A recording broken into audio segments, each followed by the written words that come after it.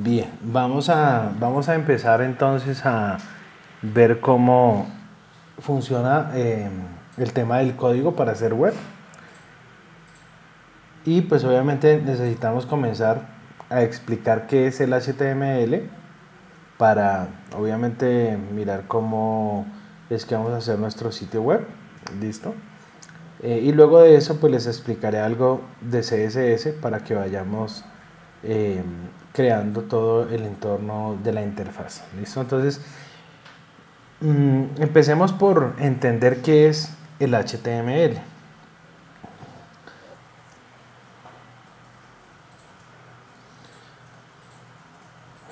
Aquí pues estamos entrando a la página de Adobe y estoy entrando con mi cuenta, pero lo que quiero ver un poco más allá de eso es, voy a darle clic derecho aquí en el Google Chrome y le voy a decir ver el código fuente de la página. Y hacemos clic. Lo que nosotros podemos ver acá es el código como tal del sitio. Entonces, ¿qué es lo que está pasando? Primero, pues nosotros estamos yendo a un dominio, ¿cierto? ¿Qué es un dominio? El nombre. En este caso, adobe.co. Si nosotros no tenemos dominios, pues hay que comprar un dominio. Los dominios se compran por año. Y si no tenemos un hosting, que es donde nosotros eh, vamos a albergar nuestro sitio web, pues entonces necesitamos eh, bien sea alquilar un hosting eh, o comprar un servicio de hosting, lo que se llama un servidor compartido, o pues ya en manejos más avanzados uno puede tener un servidor propio. Pero lo que se usa pues digamos a nivel general muchas veces es alquilar un hosting. Y hay muchas empresas que prestan ese servicio. Eh, de pronto hemos escuchado de GoDaddy, o el caso de Colombia de Colombia Hosting, eh, Blue Hosting, eh, Bringster, HostGator, sí, todos esos son empresas que prestan ese servicio y ese servicio normalmente pues es un servicio que vende por un tiempo, ¿sí? un mes, dos meses, tres meses, seis, seis meses, un año. Obviamente que los mejores precios los dan por año entonces uno casi siempre ese servicio lo toma por año, ¿vale? En mi caso, por ejemplo, yo tengo mi servidor en Bluehost. Esta es la página, ¿sí? Y pues este servidor eh, lo recomiendo, o esta empresa más bien, sí que tiene pues obviamente muchos servicios. Mm, lo recomiendo pues por dos razones básicamente, porque la seguridad es buena y porque el servicio al cliente es óptimo. Entonces cuando uno eh, va a comprar un servicio de hosting, esas son como dos de las cosas que me parecen muy importantes, aparte del precio, ¿no? Uno siempre busca que el precio sea un precio justo, pues que no sea tan elevado y que ya si es muy barato, pues uno comienza a sospechar que de pronto hay algo que no está bien, ¿no? Y los servidores en Estados Unidos, pues quizás eh, nos pueden dar un poco más de confiabilidad Em, desde mi punto de vista. Entonces, esas son como cosas que hay que tener en cuenta, ¿sí? Porque si uno de pronto tiene un problema en algún momento, si pues digamos que estamos de malas y tenemos un problema a las 2 de la mañana un domingo y hay algo que no sabemos configurar en nuestro servicio, en nuestro hosting, la página no funciona, o hay algo dentro del código, o hay algo dentro de mis servicios que no logro descifrar cómo es y necesito una ayuda. Entonces los servicios de live chat o de chat en vivo, para eso pues son lo mejor. Cuando te dicen a ti horario de oficina de 8 a 5 entre semana, muchas veces eso a uno no le sirve. Y peor cuando le dicen que tiene que llamar, porque uno tienes que resolver en tiempo récord todos los problemas que tengas. Y por eso, pues no importa el servicio de hosting que ustedes alquilen o que ustedes eh, compren, eh, por la vía que sea, pero tengan en cuenta esos aspectos, seguridad, servicio al cliente y precio. Y obviamente los servicios que les prestan, ¿no? Eh, muchas veces nos dan correos, muchas veces eh, nos dan pues un espacio, nos dan otros tipos de servicios, plantillas, eh, componentes integrados para configurar, por ejemplo, CMS como WordPress, como PrestaShop, Drupal y un montón de CMS que existen. Bueno, ahí digamos que muchos valores agregados dentro de los servicios de hosting. Aquí ustedes pueden ver un precio, ¿no? 2.95 al mes, pero lo que les digo, muchas veces esos precios los dan por año. Y ya tenemos que entrar a mirar eh, en cada servicio de estos que nos ofrecen, pues cómo son los paquetes que, que tiene cada uno. Si acá por ejemplo hay uno que se llama Basic, Plus y hay otro que se llama Prime, que tiene casi todo ilimitado, ¿no? Espacio ilimitado, eh, cantidad de sitios web que puedo albergar ilimitado. Eso significa que yo puedo tener un servicio de hosting y poner múltiples páginas ahí. O sea, no tiene que ser como eh, un hosting una página. O un hosting un dominio, no. Yo tengo mi servicio de hosting, que es donde eh, podríamos decir mi disco duro virtual configurado para web y ahí albergar múltiples sitios web, que es como por lo menos yo lo tengo. Si tengo más o menos unos 15 sitios web configurados de varios clientes y pues eh, también es un valor plus que uno le da como diseñador, que uno al cliente le da el hosting y le puede comprar el dominio y pues podría uno cobrar un poquito más aparte del diseño, ¿vale? Pero pues esto el cliente lo tiene que tener súper claro, ¿sí? Él tiene que saber que necesita un hosting y que necesita un dominio, ¿vale? ¿Estamos claros? Mm, Yo no entiendo cuál es, la, o sea, cuál es el hosting, o sea, qué es lo que, qué es, mejor dicho. Hosting significa hospedaje y es el lugar, podríamos decir, el disco duro que reside en un servidor donde tú vas a poner tus archivos de tu sitio web. Y de ahí para allá se va a difundir a través de un dominio tu sitio web. Es donde se va a publicar el sitio web. ¿vale? Como tal. Y el dominio es solo el nombre. De hecho, hay, por ejemplo, si uno quiere un dominio .com, .co o .co, uno puede meterse a Google ¿sí? y decir dominios.com. Y aquí pues seguramente te van a salir varios, eh, varias empresas que venden servicios .com.co. Ok.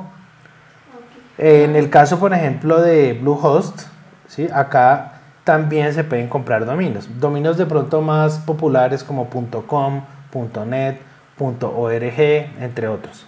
O sea que si uno tiene como el dominio y no tiene el hosting, no Sí, claro, no sirve de nada.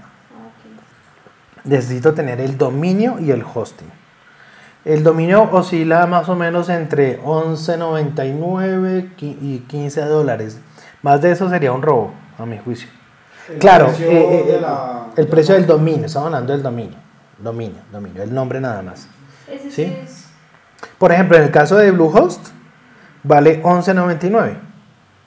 ¿Sí? Cualquiera de los dominios que ellos venden. Pero ya si necesita un .com, .co puede variar el precio. Incluso no quiere decir que sea más caro, puede ser de hecho más barato, pero digamos que no es tan caro. O sea, mm, relativamente no es un precio tan caro. O sea, estamos hablando de, eh, pues 11.99 sería como mm, 30, y, ah, pongámosle 40 mil pesos, ¿no? Con, con los intereses y demás de la compra con la tarjeta. Esto hay que hacerlo con tarjeta de crédito ¿no? también.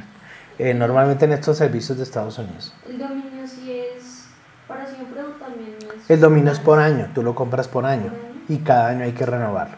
Entonces, si, si pagas 11.99, pues exactamente al año tienes que volver a pagar 11.99 para seguir teniendo ese dominio.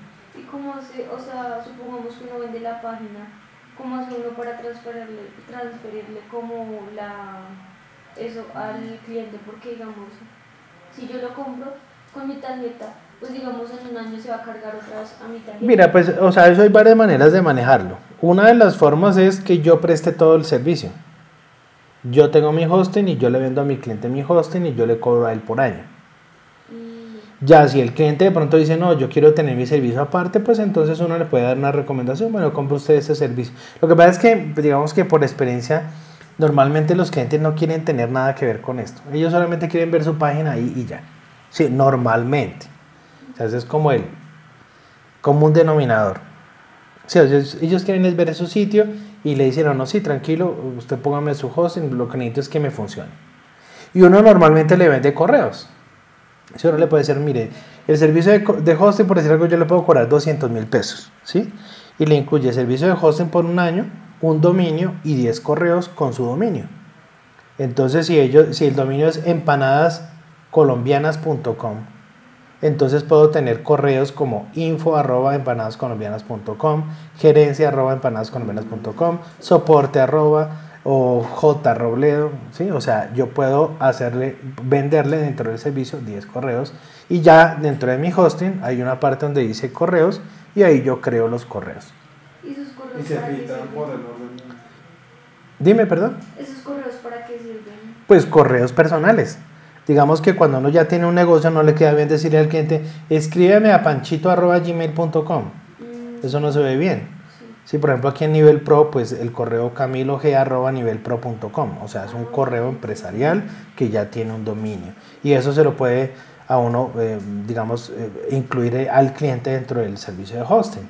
¿sí? En, el, en el caso, por ejemplo, del paquete este de Bluehost Prime, dice que los correos son ilimitados. Incluso yo puedo crear un correo que no tenga límite en el almacenamiento si fuera el caso, ¿no? Aunque eso digamos que hoy en día eh, a la hora de la verdad no importa mucho, porque cuando se compra un correo normalmente los clientes lo configuran con el Outlook y cuando lo configura con el Outlook pues los correos llegan y se almacenan localmente en el computador del cliente.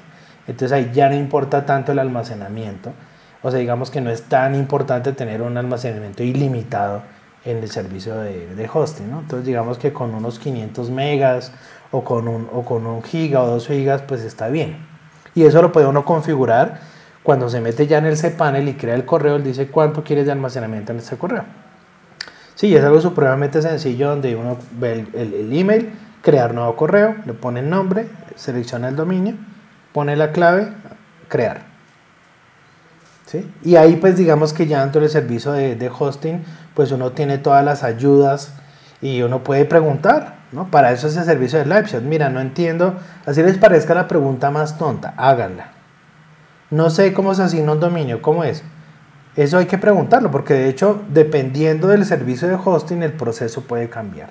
El cPanel puede cambiar. Entonces no es como eh, una, una eh, eh, un procedimiento siempre el mismo.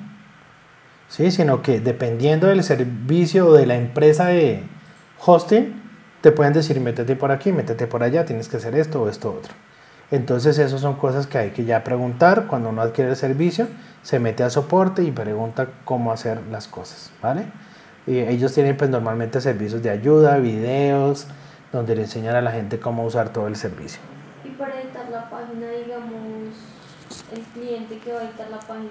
Es que normalmente el cliente no edita la página, sino la editamos nosotros. ¿sí? Ahora, puede ser que el caso diga, ay no, pero es que yo quiero yo editar la página porque de pronto me tengo que cambiar cositas. En esos casos, uno desarrolla CMS. Entonces, puede hacerle ya al cliente un sitio en WordPress, un sitio en, en, en, en Drupal, en Joomla.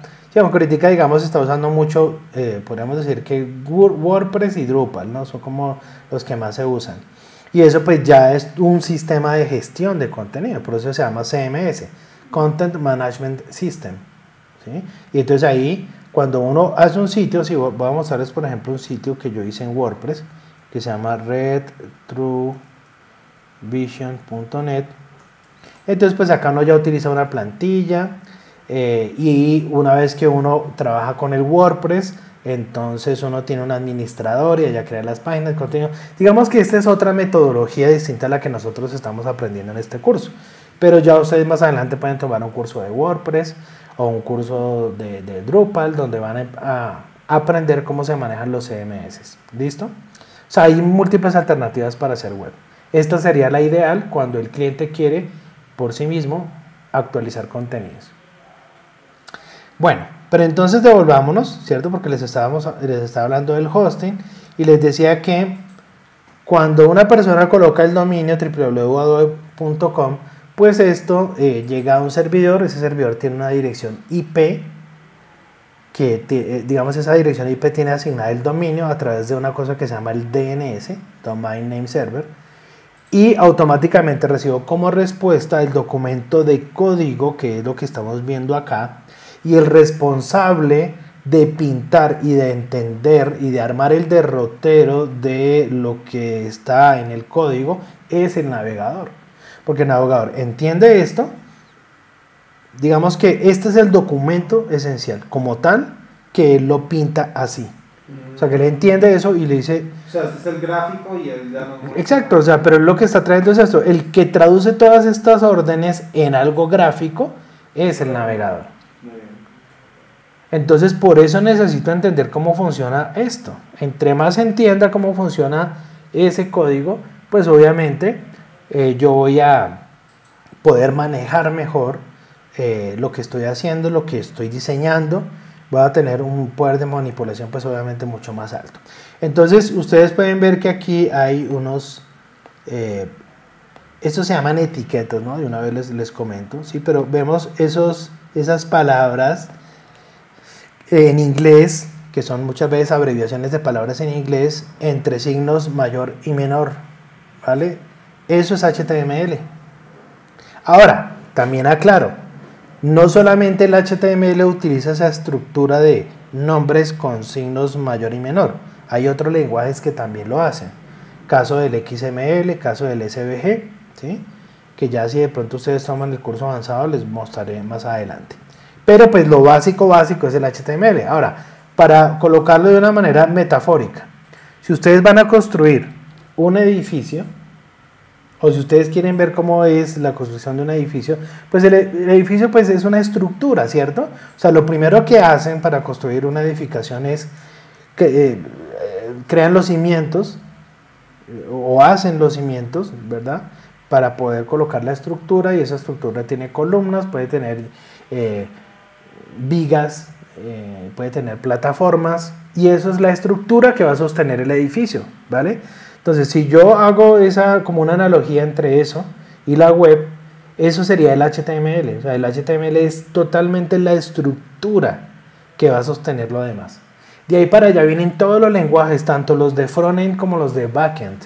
Acuérdense que nosotros estamos haciendo frontend, o sea, todo lo que está enfrente, lo visual, la interfaz. Diseñamos los botones, ponemos las fotos, los textos, el video, eh, los bordecitos, la estética, todo eso es frontend.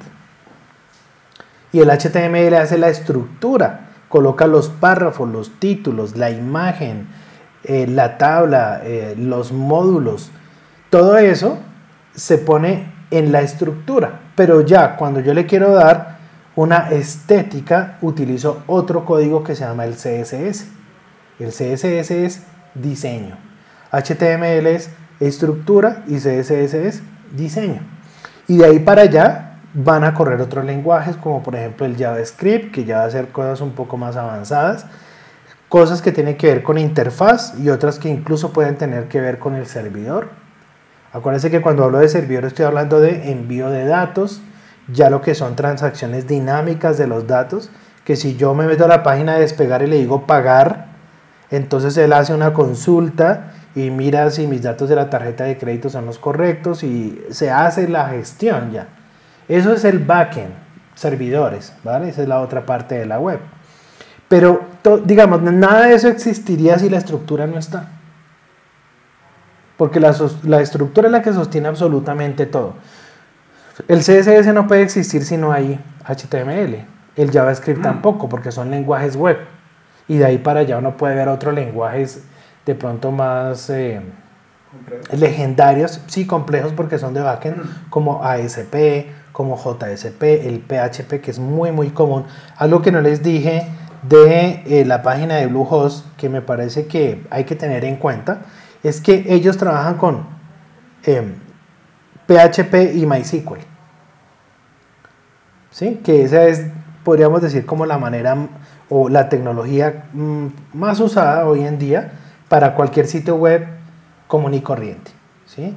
Cuando digo común y corriente es que pueden haber desarrollos más complejos, de pronto desarrollos que requieran tecnología de Microsoft, porque uno quiere utilizar, por ejemplo, .NET y ya una base de datos SQL que es de Microsoft, o de pronto necesita una base de datos de Oracle y trabajar con Java.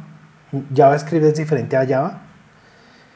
Eh, trabajar con JSPs, o los Java Server eh, pages. Todo eso son tecnologías diversas que en este caso no aplicarían, porque acá solo se trabaja MySQL y PHP, que es como trabajan la mayoría de los CMS. O sea, les mencionaba de WordPress, de Drupal, de Joomla, hay otros que son para pagos como Magento, PrestaShop, eh, OpenCard, bueno, etcétera. Todo eso funciona con PHP y bases de datos MySQL. Pero si de pronto hay un desarrollo que tiene otra tecnología, pues esto ya no me serviría. Tendría que buscar otro, otro servidor. ¿sí? Pero pues digamos que esto, lo, es como lo más común. Si vas a hacer un sitio web común y corriente, este te sirve, no hay ningún problema. Ahora, si dado el caso necesitamos un servicio que te dice, no, pues es que yo necesito implementar un servicio de streaming o una cosa ya mucho más sofisticada, pues les recomiendo AWS, que es Amazon Web Services, y que pues este es otro de los servicios eh, también que recomiendo, obviamente. Eh, aquí hay de todo, o sea, acá ustedes pueden conseguir servidores para prácticamente lo que sea. ¿ya? Entonces, pues obviamente que aquí sí hay un montón de variantes en la forma como se presta el servicio, pero pues se los nombro para que lo tengan en cuenta ya para manejos más eh, complejos. Pero bueno, volviendo al tema, entonces entendamos que hay una estructura que la determina el código HTML, ¿cierto? Entonces necesitamos empezar ¿Este por ahí. también? ¿Cómo dices? ¿Este también cobra? eh? Sí, claro, claro. Todos esos servicios son pagos y hay unos que son costosos. Y a veces hay servidores que son costosos y que hay que alquilar y hay servicios que hay que comprar y bueno, todo eso tiene costos. Bueno, entonces voy a entrar acá un momento a Dreamweaver. Listo, esta es la versión de Dreamweaver CC 2017. Nos vamos a centrar más que todo en los procesos que tienen que ver con código. ¿Vale? Dentro de Dreamweaver me interesa mucho que ustedes se puedan defender con código. A veces no es bueno que la persona se apegue a los procesos de un programa, porque si no va a usar ese programa, entonces el día, otro, el día de mañana tiene que usar otro programa y de pronto se puede varar. Entonces por eso el código es como, como dicen los memes, ¿no? La vieja confiable. O sea, siempre lo vas a poder solucionar por ahí. Em, antes de explicar el código HTML, les voy a explicar eh, unas cosas básicas de Dreamweaver para comenzar a trabajar nuestro HTML y ya explicárselos al detalle. Hay otros editores de código, ¿no? En el curso avanzado pues yo les enseño a utilizar Sublime Text eh, y otros editores de código también vemos ahí. Pero en este caso vamos a utilizar Dreamweaver. ¿Qué es lo primero que uno hace cuando entra a Dreamweaver? Uno debe crear un sitio. ¿Listo? ¿Qué es crear el sitio? Pues un sitio web, ¿saben qué es? Una carpeta, un folder, con archivos. Eso es un sitio web. Eso es un proyecto. Y ese sitio web tú lo puedes comprimir y enviártelo al correo. O lo puedes guardar en una memoria USB. O lo puedes tener local. O lo puedes subir a un servidor. No importa. Es una carpeta con unos archivos. ¿Me estoy explicando? Entonces, Dreamweaver eh, me sugiere que yo cree el sitio acá para que él sepa dónde está y yo pueda administrarlo. Es decir, para que me quede más fácil la tarea. Porque yo podría ir aquí al Finder y decirle, bueno, quiero crear una carpeta y allá darle guardar como, pero no es lo mismo. Él me da la facilidad de poder, podríamos decir, sincronizar el lugar donde yo voy a crear ese sitio con el panel archivos y de esa manera que yo pueda administrar mis archivos y dentro de ello pues muchas tareas que voy a tener que hacer con mi sitio como tal. Entonces, ¿cómo se hace? Le decimos por aquí sitio, nuevo sitio. Y aquí sencillamente le podemos colocar un nombre. Por ejemplo, en este caso, como nosotros vamos a hacer un ejercicio, ¿cierto? Para comenzar a entender el lenguaje, pues yo sencillamente le voy a colocar sitio ejercicio. Si nosotros fuéramos a hacer el sitio web del almacén Pepita, entonces le pongo acá, sitio web almacén Pepita, porque así eh, yo lo puedo distinguir o diferenciar entre los otros sitios que yo voy a ver en el panel archivos. Entonces hay que ponerle un nombre. Ahora, esto funciona solo acá, de momento acá, localmente. Si el día de mañana te pasas a otro computador, entonces copias tu carpetita, te la llevas para allá y en ese computador vuelves y haces esto. Porque esta ubicación es en mi computador, users, Camilo Adobe, desktop, ta, ta, es mi computador. ¿Lo estoy explicando? Entonces, si te cambias, este proceso lo tienes que hacer allá. Voy a decirle, aunque este nombre está ya por aquí, entonces voy a colocarle sitio de ejercicio. eh, estamos, a, estamos en marzo, ¿no? Sí. Voy a ponerle mar, marzo. Y luego me ubico en esta carpeta y le voy a dar una ubicación. ¿Listo? Entonces una ubicación puede ser nueva carpeta y le digo sitio, ejercicio, mar. O sea, le coloco el mismo nombrecito, ¿vale? Es buena idea hacerlo así. Ustedes se pueden colocar en C, en D, en la partición que quieran, donde ustedes guardan sus archivos. Obviamente que no es bueno estar colocando todo en el escritorio, ¿no? Pero aquí por lo que estamos haciendo el ejercicio, lo estoy haciendo así. Le digo elegir y en este momento ya Dreamweaver tiene la ruta donde existe la carpeta y a esa ruta se le asigna un nombre reconocible por Dreamweaver. Entonces voy a decirle guardar, ¿listo? Este programa Dreamweaver es legendario, es de los programas viejos eh, que hay en todo el tema de diseño web, de, los pioneros también. Este programa era de una empresa que se llamaba Macromedia o Macromedia. Y desde el año 2006 eh, más o menos, Adobe hace un, podríamos decir como una transacción de acciones, o sea, como que Macromedia le compra acciones a Adobe, eso es una cosa ahí financiera, eh, que digamos un asunto financiero que hicieron que al final de cuentas el resultado es que todos los productos que eran de Macromedia terminaron siendo propiedad de Adobe. Y en esa época estaba Flash, Macromedia Flash, había uno que se llamaba Macromedia Fireworks, Macromedia Dreamweaver, todo eso pasó a ser parte de Adobe Systems y a partir de allí o a partir de ese momento todos los productos cambiaron a Adobe en este caso Adobe Dreamweaver ¿no? pero si uno mira versiones muy antiguas de Dreamweaver se llamaba Macromedia Dreamweaver la última versión conocida de Macromedia se llamó Macromedia Dreamweaver 8 de un kit que se llamaba Studio 8 donde venía Flash 8 eh, Fireworks 8 ¿no? pero a partir de ahí sale la versión de Adobe Dreamweaver CS3. Después CS4, CS5, CS5.5, CS6 y ahí comienza Creative Cloud. ¿Listo? Y CS 2014, CS 2015 y ahora CS 2017. Entonces, ¿qué es lo que yo voy a hacer aquí? Pues lo primero que tenemos que hacer es crear un documento HTML. Es lo primero. La forma más fácil de hacerlo es esta.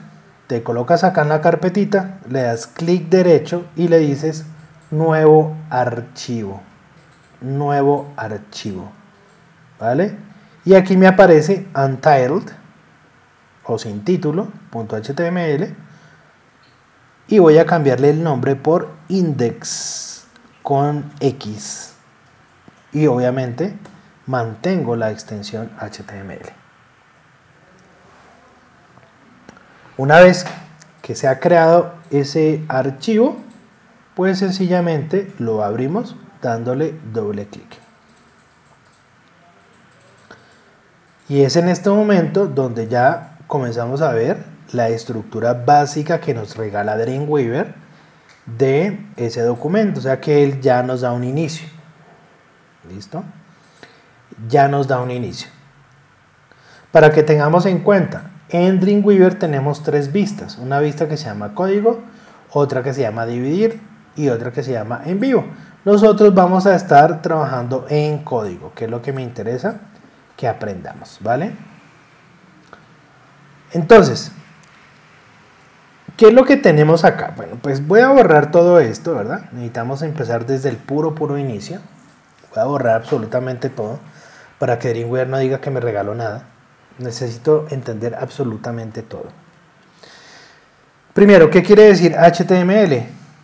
Esto es una sigla que significa Hypertext Markup Language. ¿Listo? ¿Qué es lenguaje? Un sinónimo de lenguaje. Manuel. de comunicación. Comunicación, me gusta. Un sinónimo de lenguaje. ¿Como idioma? Sí, estamos bien.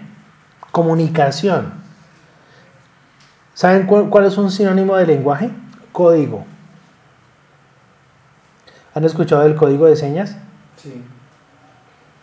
Pues es para comunicarse. Entonces, cuando se habla de un código o de un lenguaje de código, pues bueno, lenguaje de código me suena como redundante, pero casi que lenguaje y código son lo mismo.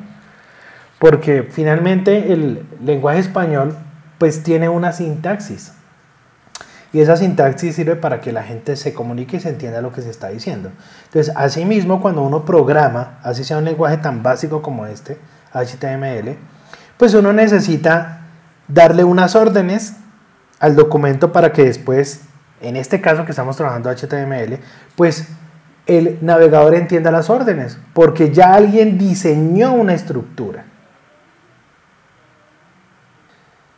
Pues se crea eh, obviamente el código HTML, mm, que viene pues derivado de, de lenguajes que existían anteriormente a esto. El Internet se crea más o menos en el año 89 hay algunas fuentes que citan 1990, ¿no? Lo he leído en algunos libros, otros dicen 89, 90, más o menos por esa época. Eh, y se crea ese lenguaje de etiquetas que tiene pues la particularidad que es multiplataforma. ¿Eso qué significa?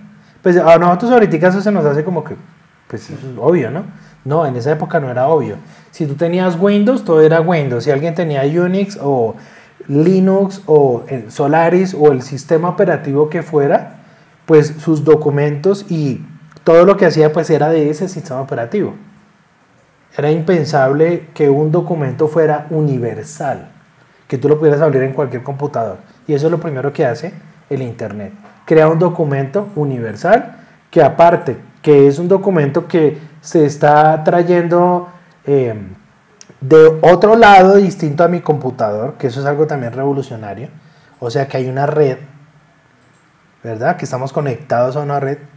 Entonces, eh, esa es la primera revolución, traer un documento de otro lado y segundo, mostrarlo.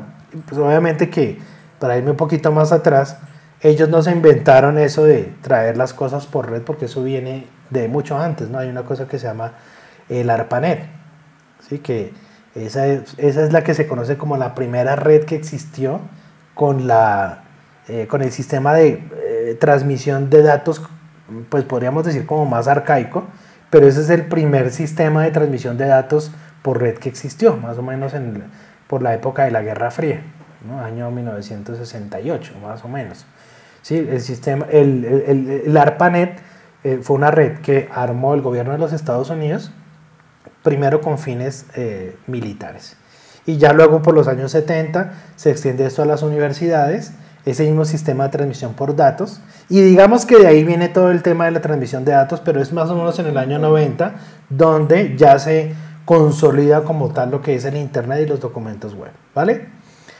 Eh, bueno, eso es un poquito de historia para colocarlos en contexto, pero eh, lo cierto es que se crea el HTML, se crea la estructura y pues ¿qué tenemos que hacer? Pues aprender cómo es para que el navegador nos entienda. O sea, volvemos al mismo tema del código. Hay una estructura, necesitamos saber cómo es. Si quieres viajar a China, tienes que aprender mandarín. Punto. Así es la cosa. ¿Vale? Entonces, lenguaje de marcado de hipertexto eh, trabaja sobre un protocolo que se llama HTTP. Lo habrán visto, ¿no? Hypertext Transfer Protocol. O sea que el HTTP, vamos a colocar aquí, HTTP, es la pila de protocolos a través de la cual corre el HTML. Bueno, esa es una de las cosas que eh, pues parece obvia, pero tiene mucho de fondo. Hypertext Transfer eh, Protocol.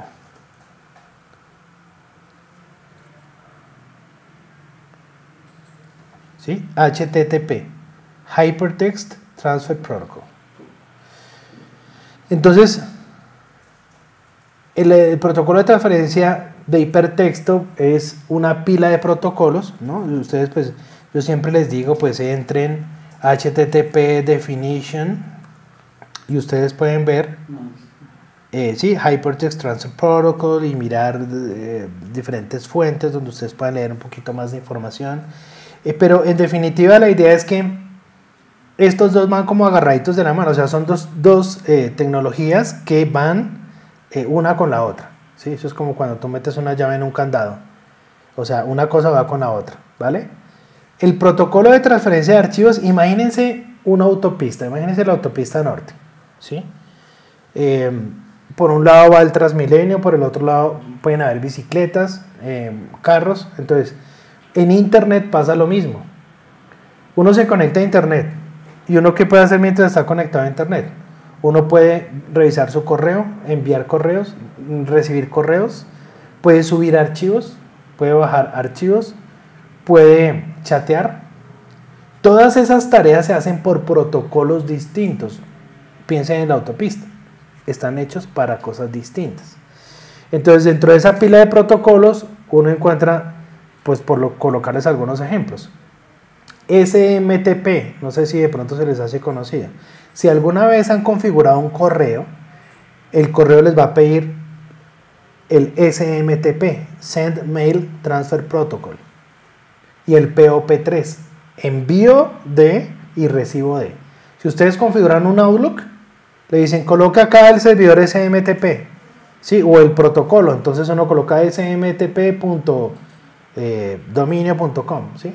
Entonces, eh, así viajan los datos. Está el FTP, que es el File Transfer Protocol. Eh, plática por turnos, IRC. Todo eso son eh, vías a través de las cuales, vías lógicas o protocolos, a través de los cuales viaja la información. ¿Sí? Entonces, por eso es que se llama HTTP y de repente pueden encontrar ahí, en algunos casos, HTTPS, que es cuando tiene una capa de seguridad, un eh, Secure Socket Layer. Cuando ya es seguro, ¿no? Y pues uno debe procurar en lo posible que su sitio sea seguro. El caso es que para no alargar más el cuento, el HTML es el lenguaje marcado de etiquetas. Entonces, vamos a borrar esto. Y el, el, HTTP, o sea, el HTTP es el que filtra la información dependiendo. El HTTP es el canal a través del el cual va la información. O sea, si uno busca algo, ejemplo, eres el que se encarga de llevarlo a donde debe. Sí, es, lo que te digo, es como la autopista, ¿sí? Por la autopista va la información. Claro, ahí pasan un montón de cosas, ¿no? Porque les estoy hablando sobre los protocolos, pero cómo se envían los datos, entonces está el tema de los paquetes, está el tema de las direcciones IP. bueno, el, TCP/IP, ¿sí? Transfer eh, Control Protocol, Internet Protocol, es el que contiene las direcciones y entonces tú ya puedes tener en tu computador una dirección IP 123.25.52.256 son números de 0 a 255 separados por puntos. Y esos son puntos de la red, ¿no? Incluso una impresora puede tener un protocolo, un, perdón, una dirección IP, un sitio web puede tener una dirección IP, mi computador tiene una dirección IP, la dirección IP es dependiendo de que... Ese es de los puntos de red. Acá hay un punto, acá hay otro punto, ahí hay otro punto. Eh, y, y donde hay un punto, pues hay una identificación o una dirección IP. ¿Y eso también lo clasifican dependiendo país? Sí, claro, pues es que digamos que cuando llega eh, la conexión, por ejemplo, acá donde estamos en esta empresa, acá hay una dirección IP y después, a partir de esa dirección pues hay una red local que hace distribuciones locales. O sea, todo es así, es una, por eso se llama la gran red, ¿no? Porque es una red y después una micro red, una micro red y así funciona el Internet. Eh, aunque lo que les digo es un poco complejo, pero pues es más o menos eh, una forma para que lo podamos entender. Pero para colocarnos en, como les digo, en contexto de lo que es como tal el HTML, entonces el HTML funciona con una sintaxis, ¿vale? Y dentro de esa sintaxis es como cuando yo les decía, nosotros hablamos español. Ok, uno que, tiene en cuenta cuando habla español. Entonces uno dice, oiga, pues es que yo puedo hablar, yo puedo armar una oración y entonces dentro de esa oración, dentro de esa oración está el artículo, está el verbo y le habla uno del, del, del, sujeto, del, eh, del adjetivo, de los adverbios. Eh, hay reglas dentro de esa sintaxis y en el caso de nosotros están eh, los diptongos y las palabras agudas, esdrújulas, bueno, un montón de cosas que es la lógica del lenguaje. Entonces, asimismo, en el HTML hay una sintaxis, hay una, hay una lógica que hay que entender. ¿vale? Entonces, vamos a empezar por lo más básico, etiqueta. En inglés se utiliza la palabra tag. Esto es para que lo vayan colocando en sus apuntes. TAG, ¿no? y, y- lo coloco así porque en inglés también la palabra eh, etiqueta se puede traducir como label. Pero cuando se habla de etiquetas HTML, se habla de la palabra tag, T-A-G. Entonces, tenemos dos clases de etiquetas. Tenemos etiquetas que se llaman, ponemos por acá esto, container y etiquetas que se llaman empty. Eh, eso sería etiquetas con contenido y etiquetas vacías. O sea, esto es para ir entendiendo, vuelvo y les digo, la sintaxis del HTML. Vamos a los ejemplos. ¿Cuál sería un ejemplo de una etiqueta container? Entonces, le decimos signo menor, coloquémosle acá body, signo mayor, signo menor, slash, y esta es una etiqueta container. ¿Qué significa cuerpo? Es el cuerpo del documento. Pero se llama container porque se abre y se cierra. Se cierra con un slash. Y así hay muchas etiquetas.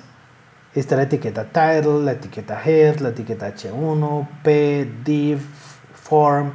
O sea, que como estamos hablando de sintaxis, entendamos que hay unas etiquetas que son container y otras que son empty, que no tienen tag de cierre. Coloquemos un ejemplo. Tag img. ¿Listo? Colocamos otro ejemplo. Tag link.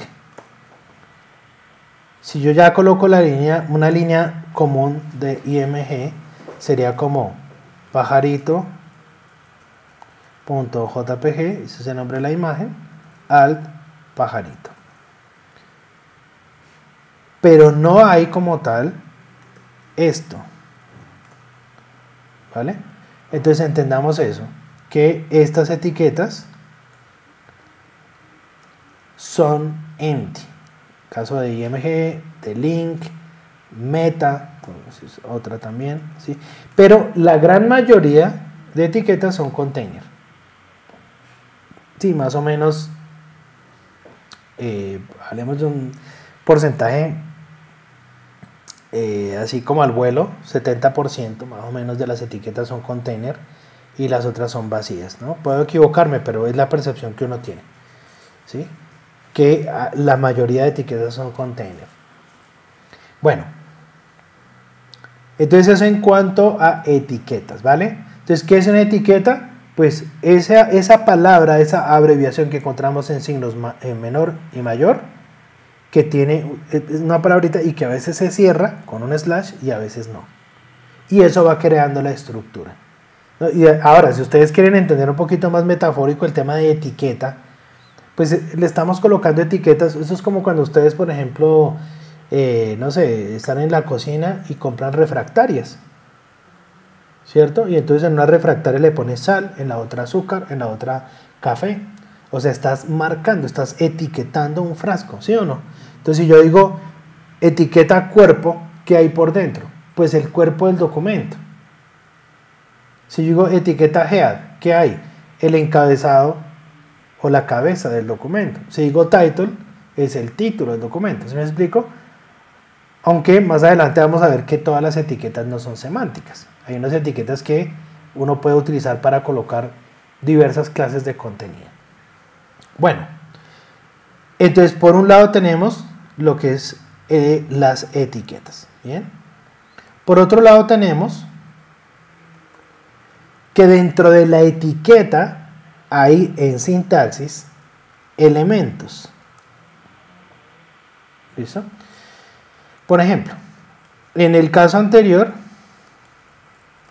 IMG es el elemento. Acá lo vemos. Voy a explicar un poco más para que podamos entender toda la idea global. Atributos. En el caso anterior, src y alt son atributos. Elemento. En el caso anterior, src y alt son atributos. Valores. En el caso anterior, pajarito.jpg y pajarito son valores. Les voy a colocar un ejemplo. Si yo digo mesa, material madera, ustedes me entienden, ¿no? Estamos hablando de la característica material del objeto mesa. ¿Sí o no?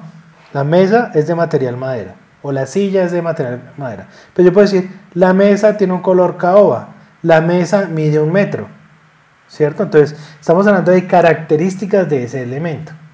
Entonces, cuando digo acá elemento, estoy hablando que es el objeto como tal, que aparece siempre al principio de la etiqueta. Por ejemplo, body es un elemento, link es un elemento, meta es un elemento. Y esos elementos tienen atributos, características. Por ejemplo, SRC es un atributo que me dice dónde está esa imagen.